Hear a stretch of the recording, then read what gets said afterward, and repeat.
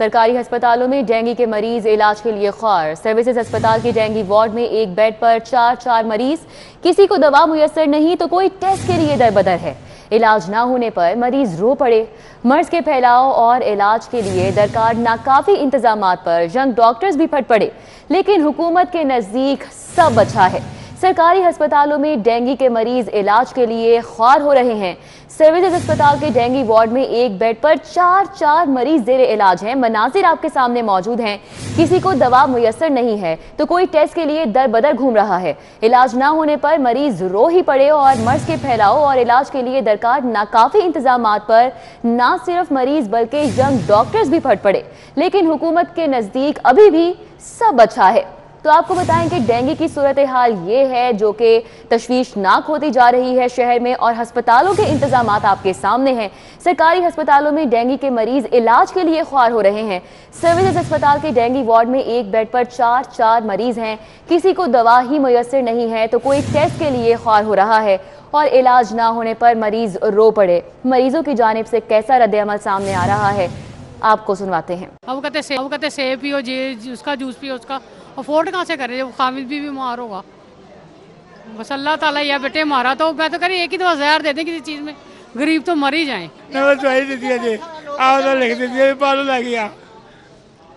मैं गरीब बंदा जो है मैं। दवाइयाँ प्रोवाइड करना बेड्स प्रोवाइड करना, सहूलतें प्रोवाइड करना, ये डॉक्टर की ड्यूटी नहीं है। डॉक्टर ने मरीज़ चेक करना है और इलाज लिख देना है। जब है, जगह ही नहीं होगी, हम इलाज करने आए हैं, हम तो सड़क पे लटा के भी इलाज करेंगे। डॉक्टर सिर्फ़ इलाज करेगा डॉक्टर सहूलियात फ्राहम नहीं करेगा। इसी हवाले से अजमत अवान हमारे साथ मौजूद हैं, उनसे जानेंगे। अजमत बताएगा दावे बड़े बड़े किए जाते हैं, लेकिन सूरत हाल हस्पतालों में इस वक्त इंतहाई तशवीशनाक है।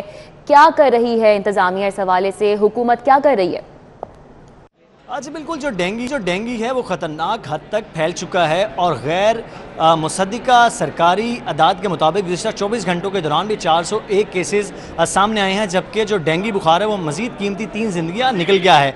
जबकि दूसरी जानब जो हस्पताल में इंजाम है, वो इंतहाई अबतर है। यहाँ से कभी कभार जो हुकूमत की जानब से जारी करदा जो दादोशुमार हैं, वो गलत लगते हैं, क्योंकि गुजशत रोज़ से देख रहे हैं और आज सुबह वजी से डॉक्टर यासमिन राशिद ने भी अपनी प्रेस कॉन्फ्रेंस, सब ओके की रिपोर्ट दी और बताया कि अस्पतालों में जो डेंगू के लिए मुख्त बेड हैं, वो काफ़ी ज़्यादा खाली हैं। लेकिन जब अब सर्विस अस्पताल का दौरा किया और आप टीवी स्क्रीन पर देख भी सकते हैं कि एक बेड पर चार चार जो मरीज़ हैं, उन पर उनका इलाज हो रहा है, जो मरीज़ हैं वो बिलबला उठ रहे हैं। और पहली बार शायद इस हुकूमत में हुआ कि मरीज़, सिर्फ़ मरीज़ ही नहीं, जो डॉक्टर्स हैं, वो भी बिलबला उठ रहे हैं। मरीज़ अपनी तरफ़ रो रहे हैं, जो डॉक्टर्स हैं, उनकी जानब से ये शिकायत की जा रही हैं कि कोरोना और डेंगू से निमटने के लिए उन्हें किट नहीं प्रोवाइड की गई। हस्पताल में अदवायात नहीं है और बेड्स की शदीद किल्लत के साथ साथ डॉक्टरों की भी किल्लत है। उन्हें बड़ी मुश्किल का सामना करना पड़ रहा है। जो दूसरी जानब मरीज़ हैं, उनकी जानब से इंतहाई अफसोस का इजहार किया जा रहा है। उनकी जानब से ये कहा जाता है कि एक तो महँगाई है, उन्होंने उनकी जान खा लिया दूसरी जानब जब उनको बीमार होना पड़ता है तो अस्पतालों में उन्हें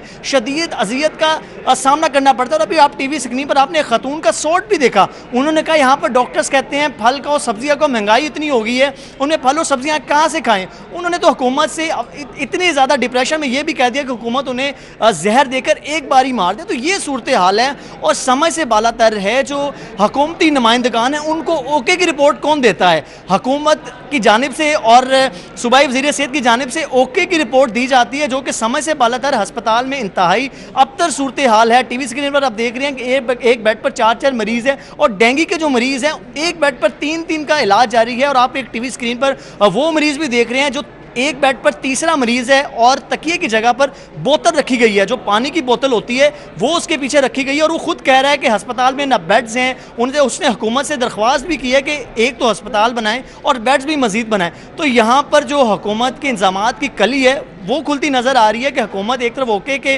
रिपोर्ट दे रही लेकिन दूसरी बरक्स इसके जो अस्पताल में इंजाम हैं, इंतहाई अबतर है। उम्मीद है हुकूमत होश के नाखून लेगी इंजाम बेहतर करेगी ताकि ना सिर्फ़ मरीज़ बल्कि डॉक्टर्स भी हैं, उनको भी सुख का सांस आ सके। जी। अजमत अबान हमारे साथ थे, तफसीरें नागा कर रहे थे।